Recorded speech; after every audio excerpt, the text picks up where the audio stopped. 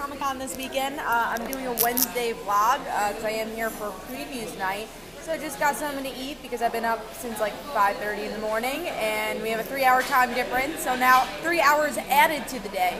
Um, but yeah, really excited for previews night. Um, I'm going to have advanced reviews for all the stuff for previews night, so excited about that. Uh, yeah, so, um, but yeah, I'm to make a, a minor uh, vlog, a, a, small vlog for today. I'm to try doing vlogging every day uh, for Comic Con and, you know, just showing you guys the area and, uh, you know, everything going on, on at Comic Con if you're not here. And even if you are here, just like a fun thing.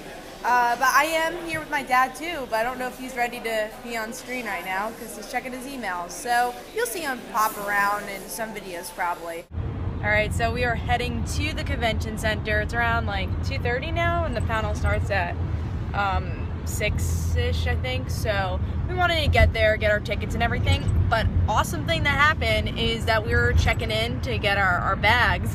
And guess who I see right next to me? Michael Rosenbaum, Lex Luthor. Uh, I didn't say anything. I chickened out. I should have said, hey, you know, love Smallville. But uh, he was talking to his wife, so I, I didn't end up doing that. Uh, but yeah, so pretty cool. Uh, and that's just to start the Comic Con experience. So I'm excited to see what's uh, what else is going on. Uh, but yeah, I saw him from the back of his head and I knew it was him. That's, you know, that's how much I love Smallville.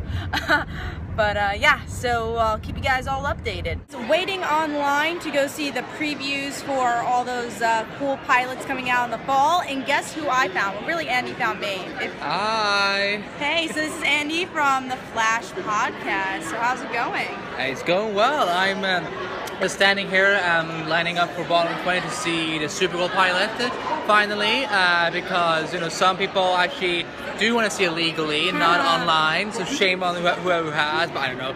But uh, yeah, I'm doing that, and uh, yeah, it's, it's it's hot here today, so very hot. Um, yeah, but uh, yeah, I'm just excited to see Supergirl finally. Same here. So I'm glad I found Andy. We're gonna see the Supergirl pilot together. Uh, we're actually pretty close to the the front of the line, so I'm excited about that. Seats to take photos. All right, finishing Wednesday preview night for San Diego. I am gonna edit some videos and I wanna collapse because I'm really tired. So see you guys tomorrow.